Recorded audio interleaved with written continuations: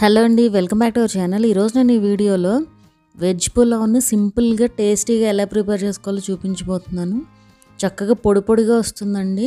Taste కూడా బాగుంటుంది. Same మనకి భోజనాల్లో పెట్టే పులావ్ ఉంటుంది కదా అలాగే ఉంటుంది అనమాట టేస్ట్. సో దీన్ని రైతాతో కానీ లేదంటే చికెన్ కర్రీతో సర్వ్ చేసుకుంటే బాగుంటుంది. సో నేను ఆ రెండు ప్రాసెస్లు కూడా చూపిస్తాను. సో వెజ్ పులావ్ అలాగే చికెన్ కర్రీ అలాగే రైతా ఎలా తయారు చేసుకోవాలో అయితే చూద్దాము. ఈ కాంబినేషన్ అయితే చాలా బాగుంటుందండి టేస్ట్. దానికోసం ముందుగా వెజ్ పులావ్ కోసం నేను ఒక త్రీ కప్స్ రైస్ తీసుకుంటున్నాను ఈ కప్తో ఈ గ్లాస్తో. సో ఆ రైస్ అయితే యాడ్ చేసుకుని ఒక రెండు మూడు సార్లు వాష్ చేయండి. ఇప్పుడు ఇందులోకి వాటర్ యాడ్ చేసుకుని ఒక ట్వంటీ మినిట్స్ పాటు నానబెట్టుకోవాలి. బాస్మతి రైస్ అండి ఇది. నార్మల్ రైస్తో కూడా చేసుకోవచ్చు. నాన్ నార్మల్ రైస్ అయితే నానబెట్టాల్సిన అవసరం లేదు. అలాగే వెజిటేబుల్స్ మీ చాయిస్ అండి మీకు ఏది కావాలంటే అవి యాడ్ చేసుకోవచ్చు. వెజిటేబుల్స్ నేనైతే ఇవన్నీ కూడా యాడ్ చేస్తున్నాను.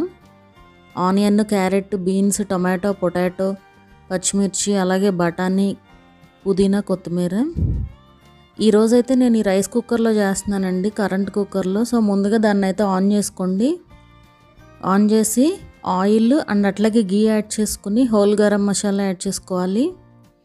అవి ఫ్రై అయిన తర్వాత ఆనియన్ అలాగే మిర్చి యాడ్ చేసుకుని ఒక నిమిషం పాటు ఫ్రై చేసుకోవాలి. ఇవి మరీ ఎక్కువ ఫ్రై అవ్వాల్సిన అవసరం లేదండి ఉడికిపోతాయి కాబట్టి. ఒక నిమిషం పాటు ఫ్రై చేసుకున్న తర్వాత ఇప్పుడు వెజిటేబుల్స్ అన్నీ కూడా యాడ్ చేసేసుకోవచ్చు. సో మొత్తం అన్నీ కూడా యాడ్ చేసుకుని ఒకసారి మిక్స్ చేసుకోండి. ఒక మూడు నుంచి నాలుగు నిమిషాల పాటు ఫ్రై చేసుకోవాలి ఇట్లాగా. ఇలా కొద్దిగా ఫ్రై అయిన తర్వాత ఇప్పుడు ఇందులోకి ఒక రెండు స్పూన్ల అల్లం వెల్లుల్లి పేస్ట్ యాడ్ చేసుకోండి. ఫ్రెష్గా నూరింది అయితే బాగుంటుందండి టేస్ట్. ఇది కూడా పచ్చివాసన పోయే వరకు కుక్ చేసుకోవాలి ఇలాగా. అది పచ్చివాసన పోయిన తర్వాత ఇప్పుడు ఇందులోకి ఒక మూడు స్పూన్ల ఉప్పు యాడ్ చేసుకోండి. ఈ ఉప్పు వచ్చి మనం ఈ ముక్కలకి అండ్ అట్లాగే రైస్కి సరిపడా కూడా యాడ్ చేసుకుంటున్నాము. అట్లాగే ఒక హాఫ్ స్పూన్ కారం. కారం వచ్చి ఆప్షనల్ అండి. బట్ యాడ్ చేస్తే కొంచెం బాగుంటుంది అనమాట ఫ్లేవర్ కూడా వస్తుంది. అలాగే పెరుగుని కొంచెం చిలికినట్టుగా చేసి యాడ్ చేయండి. మరీ పెరుగులాగా కాకుండా. సో ఇలా యాడ్ చేసుకుని ఒకసారి ఇలా మిక్స్ చేసుకోవాలి. ఇప్పుడు ఇందులోకి పుదీనా కొత్తిమీర కూడా యాడ్ చేసుకోండి.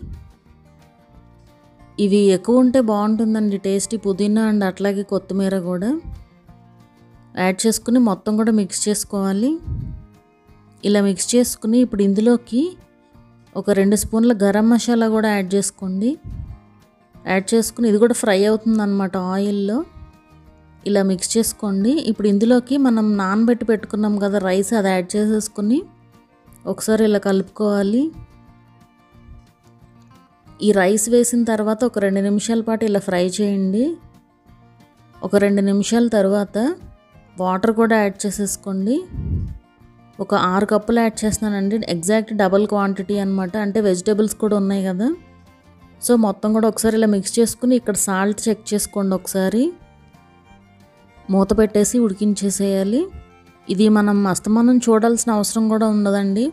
ఒకసారి మాత్రం ఇట్లా స్టార్టింగ్లో నీళ్ళు మరిగిపోయిన తర్వాత ఒక్కసారి ఇలా కలిపేసి మూత పెట్టేసేయండి. ఇక మనం పూర్తిగా రెడీ అయ్యే వరకు అయితే కదిపించాల్సిన అవసరం అయితే ఉండదు.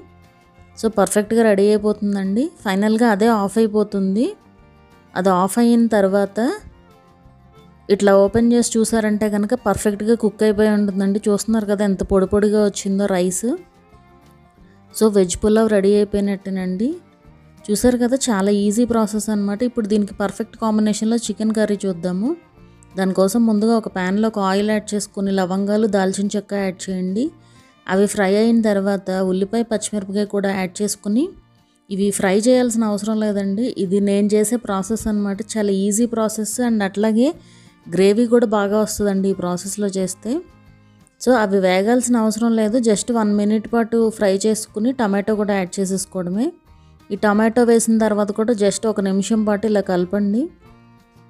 అలాగే చికెన్ని కళ్ళుప్పు అండ్ అట్లాగే పసుపు వేసి క్లీన్ చేసి పెట్టుకున్న చికెన్ అండి ఇది. అది యాడ్ చేసేసుకోండి ఇందులోకి. యాడ్ చేసుకుని ఒకసారి మొత్తం కూడా ఇలా కలుపుకుని ఏమి ఉప్పు కారం అది ఏమి యాడ్ చేయకుండా మూత పెట్టేసి ఉడికించండి. ఉప్పు కారం కనుక మనం వేయకపోతే ఫాస్ట్గా ఉడుకుతుందన్నమాట చికెన్. సో ఒక టెన్ మినిట్స్ పాటు మూత పెట్టేసి ఇలా ఉడికించండి. టెన్ మినిట్స్ తర్వాత మోస్ట్లీ కుక్ అయిపోతుందండి చికెన్. సో ఇలా అయిన తర్వాత ఇప్పుడు ఇందులోకి ఉప్పు కారం ఇప్పుడు యాడ్ చేసుకోండి. చూస్తున్నారు కదా వాటర్ అన్నీ కూడా అవే వచ్చాయండి ఆటోమేటిక్గా. అలాగే కారం మీ టేస్ట్కి తగినట్టు కారం యాడ్ చేసుకోండి. నాన్ వెజ్ అనేసరికి కొంచెం కారం ఎక్కువే ఉంటే బాగుంటుంది కదా. అండ్ అట్లాగే అల్లం వెల్లుల్లి పేస్ట్ కూడా యాడ్ చేసుకుని అలాగే కొద్దిగా పెరిగి యాడ్ చేయండి. మామూలుగా అయితే నేను మ్యారినేట్ చేసేటప్పుడు వేస్తానండి. ఈరోజు మ్యారినేషన్ చేయలేదు కాబట్టి ఇట్లా పెరుగు అయితే యాడ్ చేస్తున్నాను. ఈ పెరుగు యాడ్ చేయటం వల్ల ముక్క అనేది చాలా ఈజీగా కుక్ అవుతుంది అండ్ అట్లాగే చాలా జ్యూసీగా ఉంటుంది అనమాట ముక్క. అలాగే ఇందులోకి ఒక రెండు స్పూన్ల ధనియాల పొడి ఒక హాఫ్ స్పూన్ జీలకర్ర పొడి కూడా యాడ్ చేసుకోండి.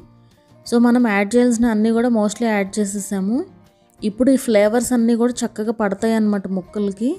ఒక పావు గ్లాస్ వాటర్ యాడ్ చేసుకోండి. పావు కంటే కూడా కొంచెం తక్కువే అయినా పర్వాలేదు. యాడ్ చేసుకుని మూత పెట్టేసి కుక్ చేసుకోవాలి. సో ఇట్లా కుక్ అవుతూ ఉంటుందండి చికెన్ కూడా. అండ్ గ్రేవీ కూడా పర్ఫెక్ట్గా వస్తుంది. ముక్క ఒకసారి ఇలా చెక్ చేయండి. పర్ఫెక్ట్గా ఉడికిపోయింది అనుకున్నప్పుడు ఇప్పుడు గరం మసాలా యాడ్ చేసుకోవాలి. యాడ్ చేసి ఒకసారి ఇలా మిక్స్ చేయండి. ఇప్పుడు ఫైనల్గా ఒక్కసారి మూత పెట్టేసి అయితే కుక్ చేసుకుందాము. చూస్తున్నారు కదా చక్కగా ఆయిల్ కూడా పైకి తేలుతూ ఉంది.